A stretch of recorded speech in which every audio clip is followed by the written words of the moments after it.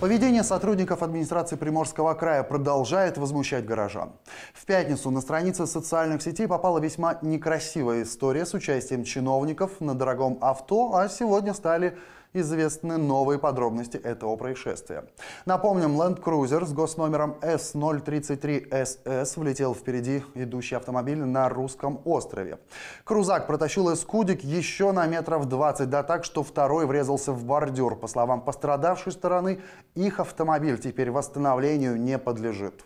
Что меня возмущает, то что начали обвинять нас, что мы виноваты. Якобы у нас там было пробито колесо, мы петляли, медленно, приезжают другие, начинают доказывать, показывать нам какие-то следы. Вместо того, чтобы помочь, они говорят, вы еще виноваты. Машина разбита так, что, скорее всего, восстановлению уже не подлежит. Страховая компания говорит, 400 тысяч это, это, это максимум, что они могут заплатить. Если это больше, будем обращаться в суд, значит, чтобы будет администрация, это, это хозяйственное управление, пускай нам дальше доплачет.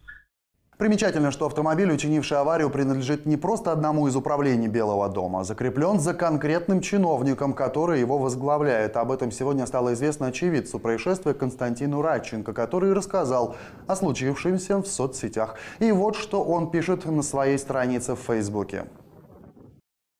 В автомобиле находился Олег Владимирович Гуменюк, директор государственного бюджетного учреждения «Хозяйственное управление администрации края». Как раз тот самый чиновник, который и организовывает закупки, о которых ранее писал известный с некоторых пор юрист Алексей Клёцкин в своей статье «Сколько стоит губернатор». Удивительно, как все сходится, куда так торопился господин Гуменюк.